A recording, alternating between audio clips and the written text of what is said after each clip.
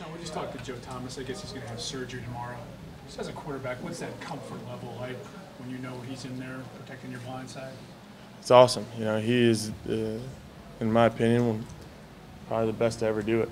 And uh, when, when he puts in the time and effort that he puts into it, and you, you know for a fact that he's um, as prepared as he can possibly be when he steps on the field, it allows you to know that, that that side of the field, unless I make a mistake, is going to be taken care of.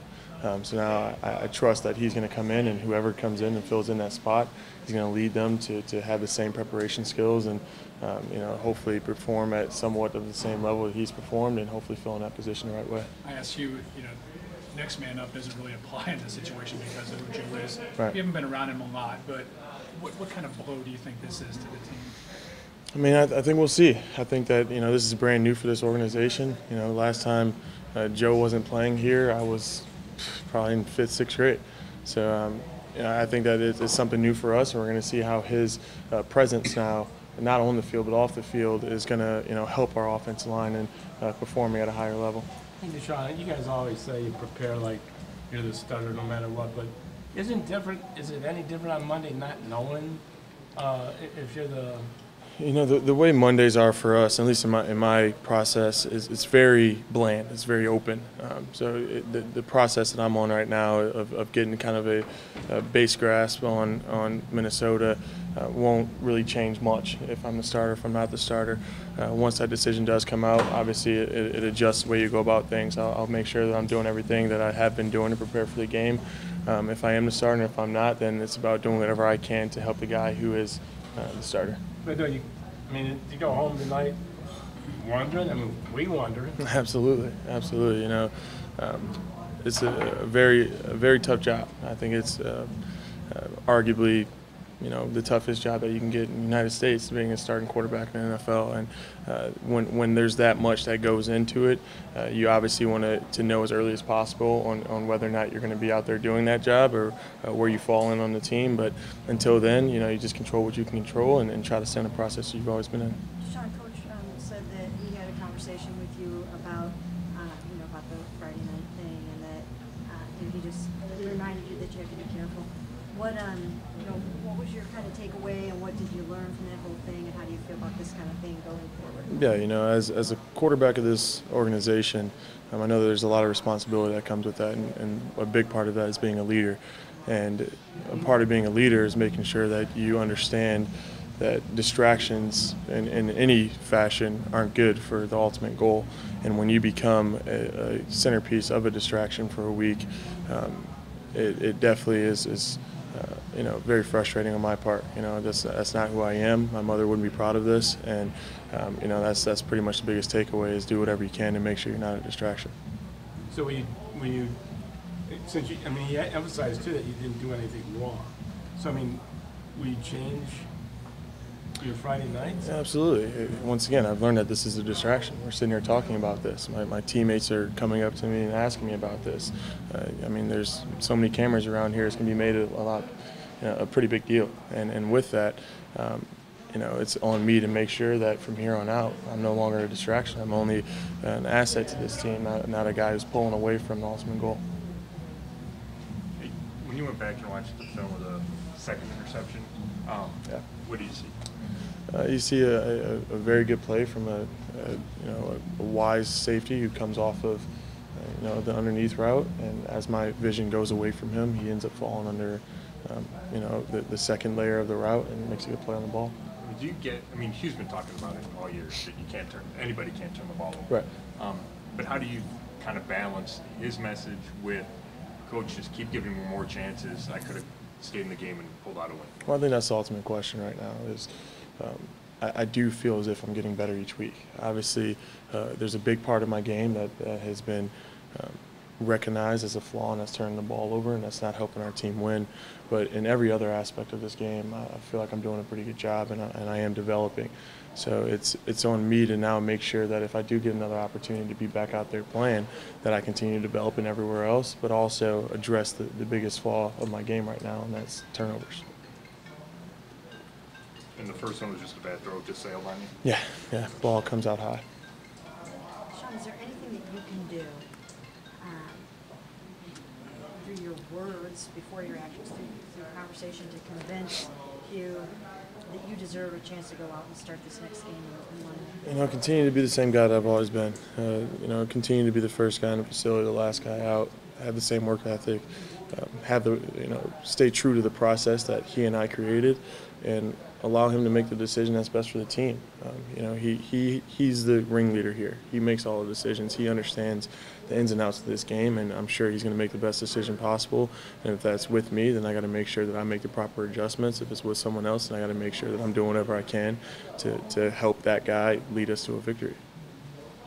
How are you keeping a um, positive mindset when you're in and out, in and out, in and out? Once again, we, we'll go back to the same thing that I've said every week. It's about setting small goals um, and, and making sure that you're checking out majority of those. Obviously, one of the goals is to make sure you're not turning the ball over. I wasn't able to check that box this week, but everywhere else, I, I felt I felt very confident. You know, I'm running the ball a little bit, having a little more fun out there.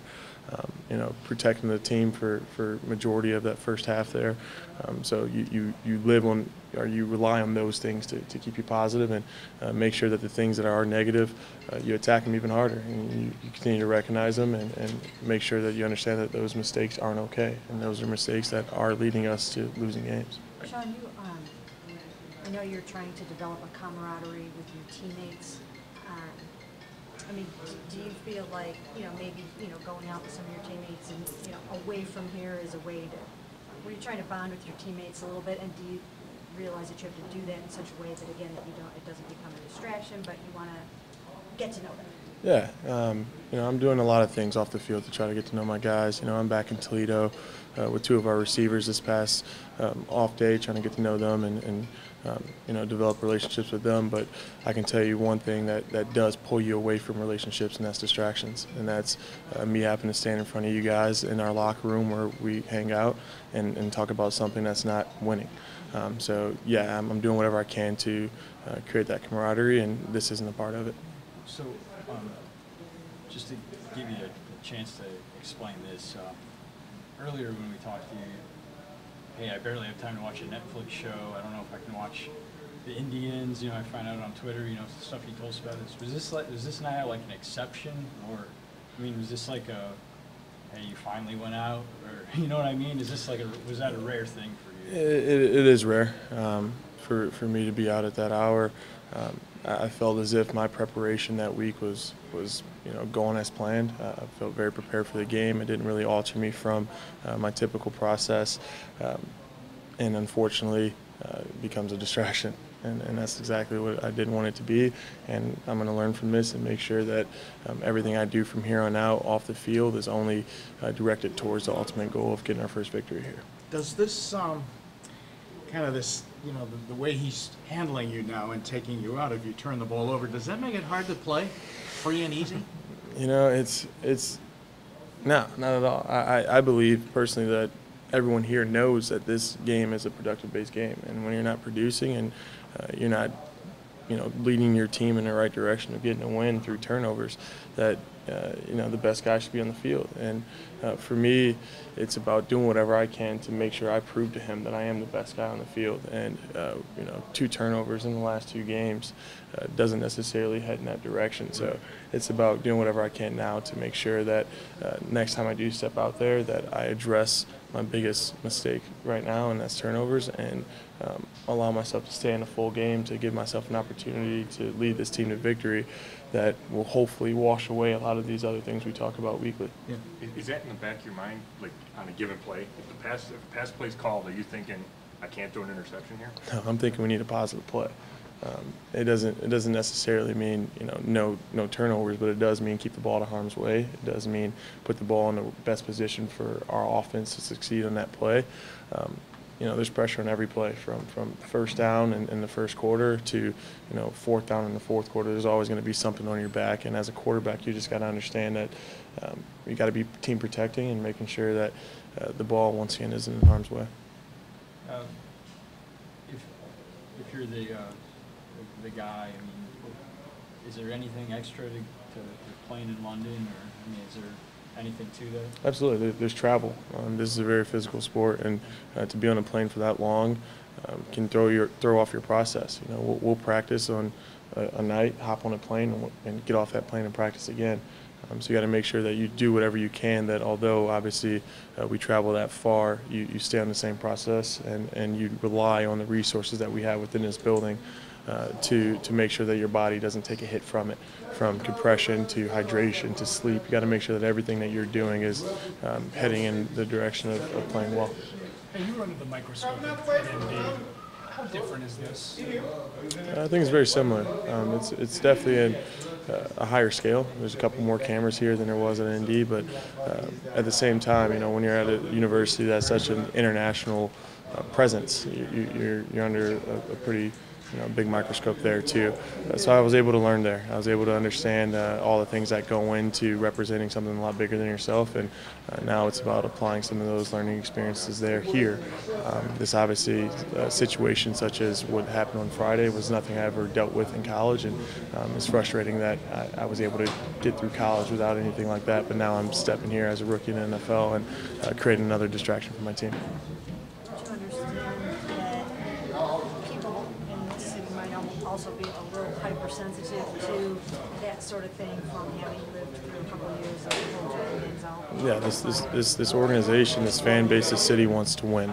And anything that's not heading towards winning is going to be recognized. And there's going to be a conversation somewhere about it. You guys are going to write about it because that's the ultimate goal here. And um, we need to get to that. In order to get to that, uh, you got to be, as a quarterback, you have to be a leader who's uh, leading the team in a direction that only heads that way. No, no steps back at this point. Just gonna follow up. So you'd rather be known that day for, for calling that players only offensive meeting and trying to get everything together than the other part? Absolutely, absolutely. Those, those are things that are going to allow this team to play better on Sundays. Um, a, a a discussion like this is Will you do that again? I will you do that again if you're the players' meetings.